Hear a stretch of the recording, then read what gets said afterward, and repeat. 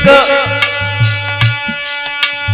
पत्नी और अपनी बहन को समझा करके कह रही है कि बहना,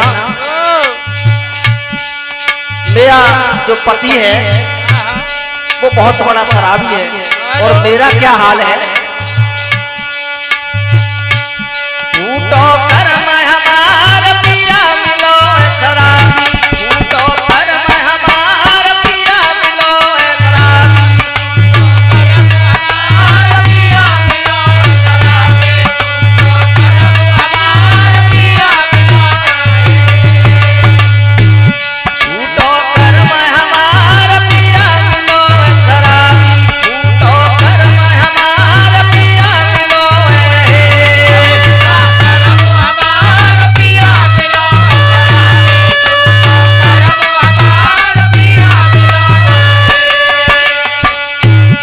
और बोली राजेश चाचा जी।